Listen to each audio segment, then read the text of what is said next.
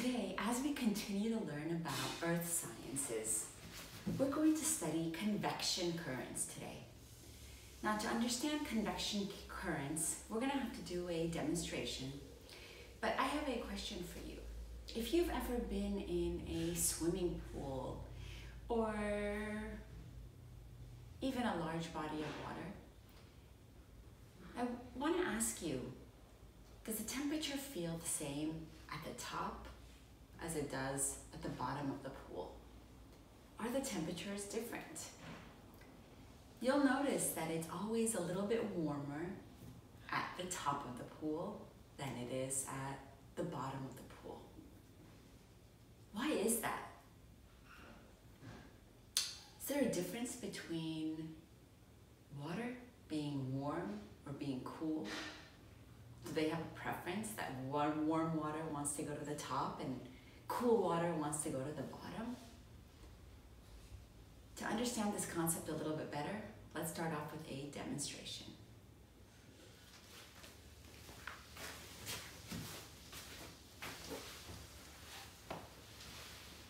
After watching that demonstration, we understand the concept of density a little bit better. Now back to water. Well, isn't water just water? Warm water and cold water? Can their densities be different? We're gonna do an experiment today that will teach us if warm water, cold water, and even room temperature water, do they all have the same density or different densities?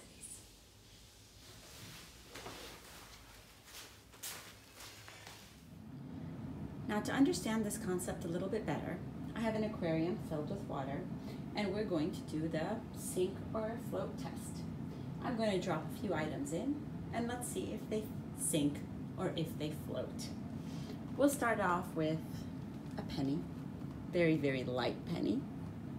Let's see what happens. Will it sink or will it float? Easy, sunk straight to the bottom even though it was so light. Let's try paperclip. Sunk straight to the bottom. Now I have two balls here. I'm gonna drop these two into the water and see what happens. Here. Whoa. Well, that was different. One sank and one is floating. Hmm. Let's keep going. And now I have two cans of soda.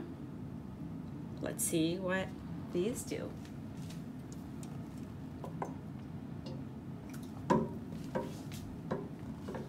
Whoa, well that's weird again, right? What's going on here? The Coca-Cola Zero is floating and the Coca-Cola regular sunk to the bottom.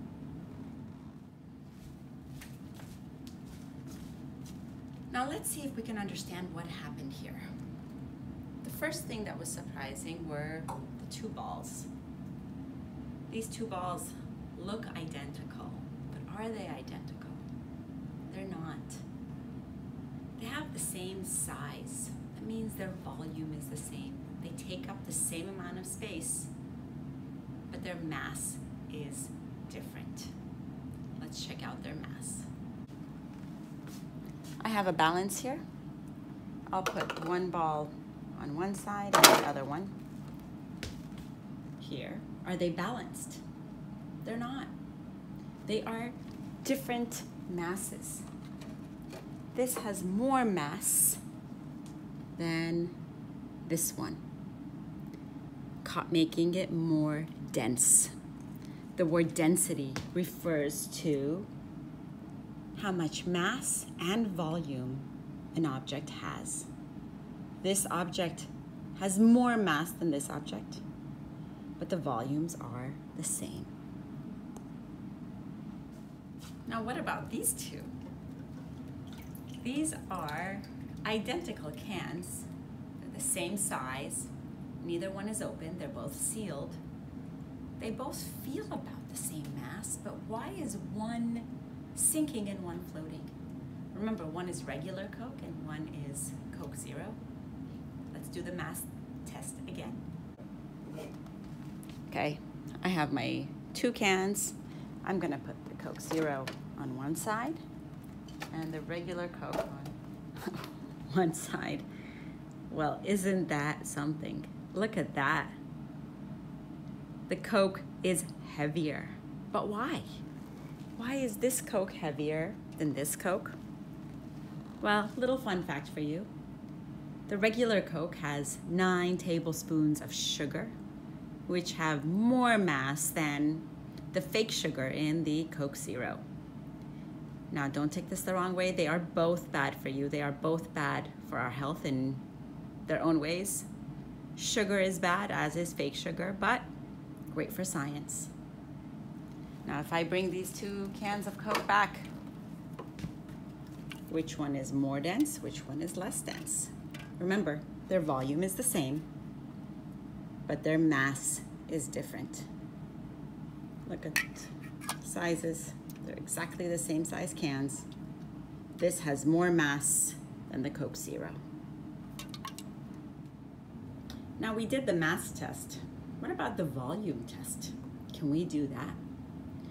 I have two identical amounts of clay here. I measured them, I weighed them. These two weigh the same amount. Can you predict what's going to happen now? Going to Let's drop the first one in and see what it does. Sunk right away. And now let's try the second one. Did this one sink? No, it's floating. But how can that be? They're the same mass. What's different about them? Their volume. The amount of space that they take up is different. These two pieces of clay have the same mass, but their shapes are different. They take up different amounts of space. Their volume is different. For this lab, you will need two different colors of food coloring, red and blue. You will need an ice cube tray. You will need plenty of water you will need either a quarter liter plastic container or if you have a lot bigger, larger vase. And you will also need pipette and you will also need boiling water. The day before you start this experiment, you're going to have to get some ice cubes ready. What you're going to do is pour water into a plastic cup. Add food coloring to make it nice and blue.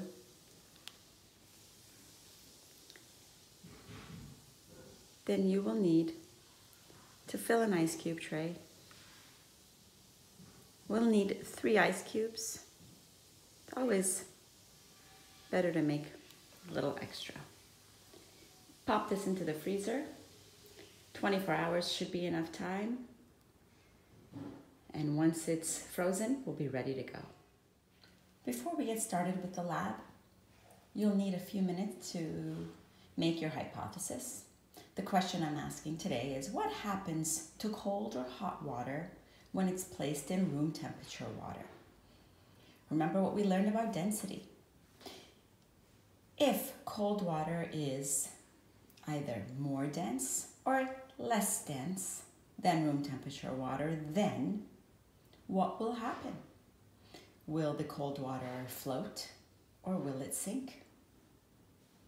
So your question, your choices are if cold water is more dense or less dense, you choose one.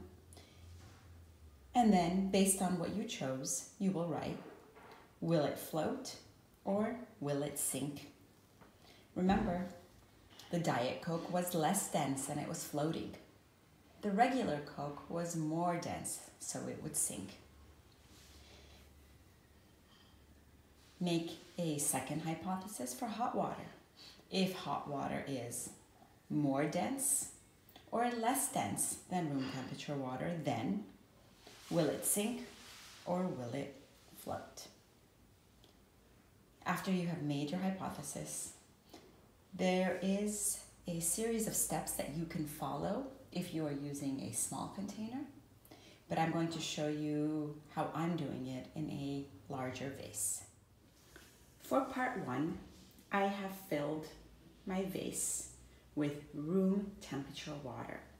Now this is water that has been sitting on my counter for 24 hours just to ensure that it's not hot and it's not cold. What I'm going to do is take one of my ice cubes and you might ask why did we color the ice cube blue? Now remember, if I hadn't colored it blue, would I be able to see what's happening to it when I drop it in there? Water is colorless, it is clear. So to be able to see cold water and its behavior, we had to color it. Now my room temperature water is clear and colorless. I'm going to very gently just drop it in there and watch and see where is the cold water going.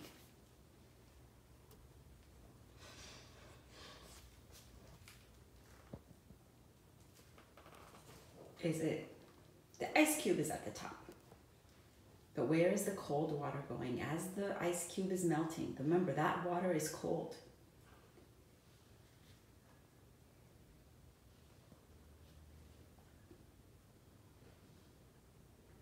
As it melts, it is going to the bottom.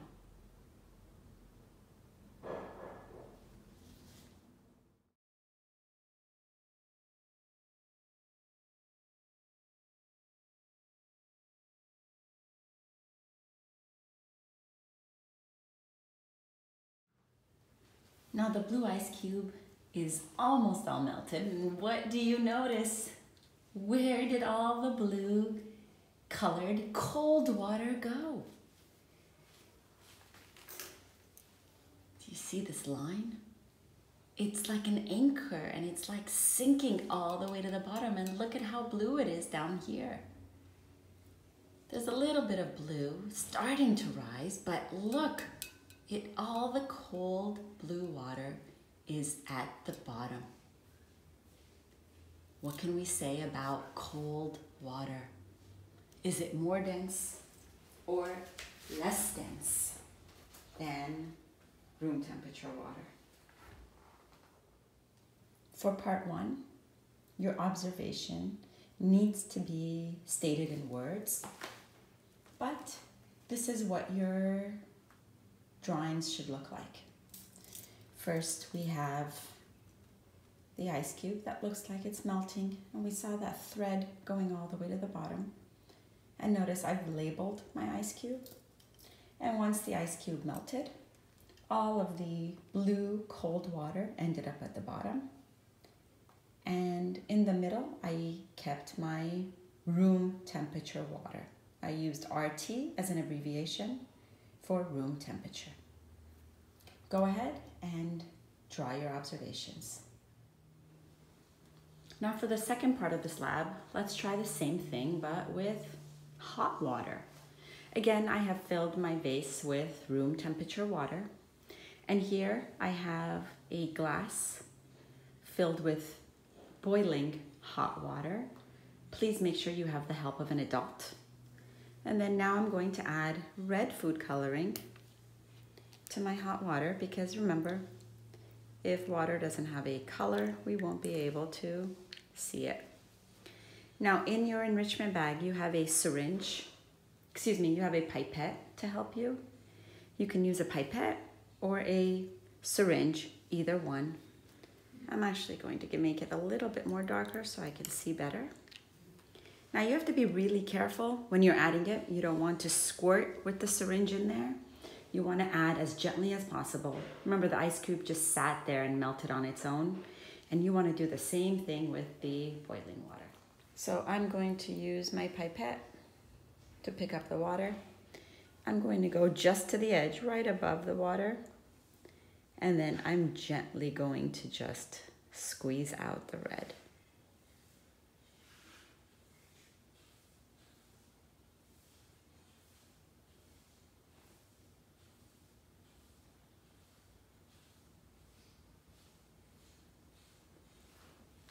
What do you notice? Notice as I squeeze, it goes to the bottom because of the pressure and then it comes right back up again.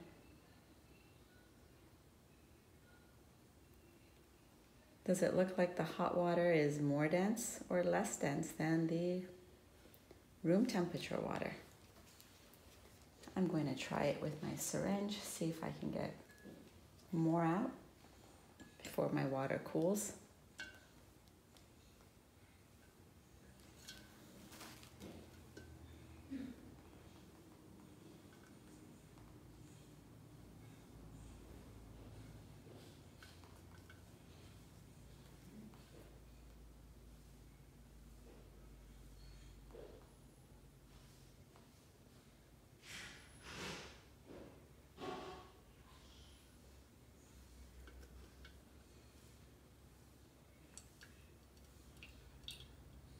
Harder to control with a syringe than the pipette.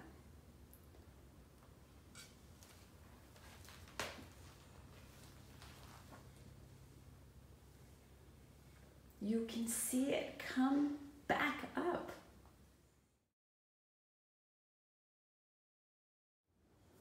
Well, look at that. There is no mistaking it.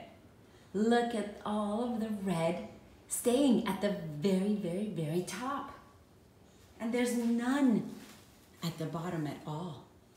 Here's the room temperature, clear water, and all the hot red water.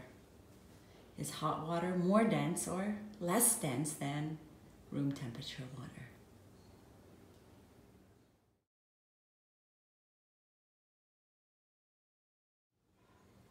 Now again, go ahead and write your observation in words and draw what you see, and as always, label. We saw at first the hot water go to the top, and after adding a lot more, well, it all stayed at the top. Room temperature at the bottom, hot water on top. Before we go to part three, go ahead, make a hypothesis what you think will happen once we have room temperature water, both hot water and cold water. So we're going to use our second blue ice cube. We're going to add more hot water and we're going to have a fresh jar of room temperature water. Make a prediction. Now for this last part, I have a jar with fresh room temperature water. And this time I'm going to add one blue ice cube that represents my cold water. And I have red hot water that I'm going to add all at the same time.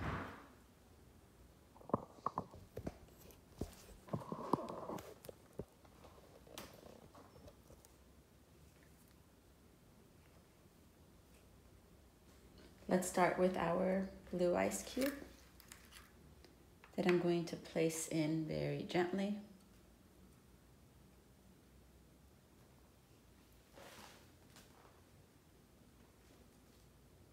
And the blue ice cube. As it melts, we see the cold water traveling down. Now, very, very carefully, I'm going to add the red hot water on the opposite side. Make sure when you're doing this, you are very careful that you don't pour the water too fast.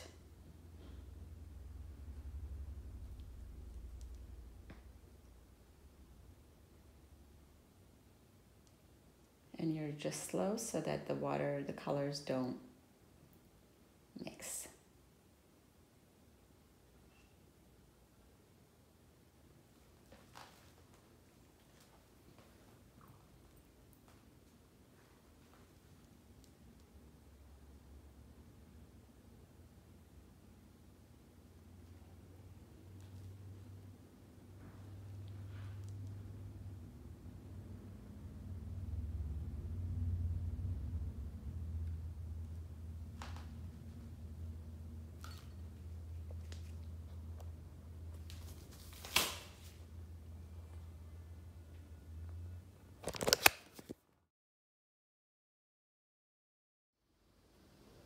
Now, as we look at this jar, what do you see? So clear. Look at the red. Just right on top, nowhere else. Then the middle is clear and the bottom is blue.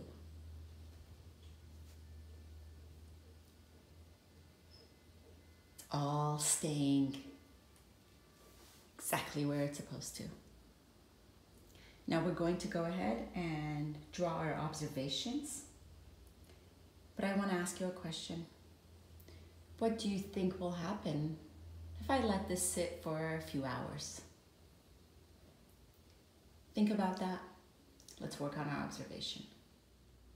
Now, if we want to draw our observations, first put your observations into words, but in the beginning, like we expected, the blue ice cube was melting and going all the way to the bottom. The red was hovering over the top. And after we left it for a few minutes, the cold was all the way at the bottom. The room temperature, which was the clear, colorless water, was in the middle, and the red hot water on top. Now, this phenomenon that we are observing right now is called convection currents. Convection currents is a term that describes how heat, hot water, rises as cold water sinks. Now, if we were to relate this back to density, what would you say about the hot water and the cold water and the room temperature water? The hot water was less dense than the room temperature water, and the cold water was more dense than the room temperature water. And if we take out the room temperature water for just a minute and we just compare hot and cold water, hot water is less dense than cold water, and cold water is more dense than hot water. Convection currents, you'll see a very simple diagram behind me. As water heats up, goes to the top. It goes to the top, it cools down, comes back down and it becomes cold water and you see this constant cycle of heat rising, cold cooling. Now, why does this happen? Remember, it has to do with density. The mass is not changing. What does change when water is heated or it's cooled down? The volume is what's changing. Hot water, as water heats up, it actually starts to take up more space. Remember my clay that I showed you guys in the demonstration? It took up more space, it had more volume. As it changes its volume, it becomes less dense. The cold water does this, something similar. As water cools down, it also changes its shape, but it takes up less space. The volume changes, and that causes the density to increase. Hot water, less dense, cold water, more dense. Now I asked you, what do you think would happen in a few hours if I left this? Would the hot water stay hot? Would the cold water stay cold? After a few hours, the cold water is probably going to increase in temperature and become the same as the room temperature. Now, why? Because we're in a room, there's no heat, there's no cold, nothing being added to this. And the hot water is going to change temperature and also become room temperature. Right now, it's really clear the red, the blue, and the clear. It's really obvious. But in a few hours, the colors will all mix, the red and the blue will mix and turn into purple. Go ahead and try this experiment and you can leave your vase or your cup, whatever container you may have, leave it longer and watch what happens as the temperatures all turn to room temperature water.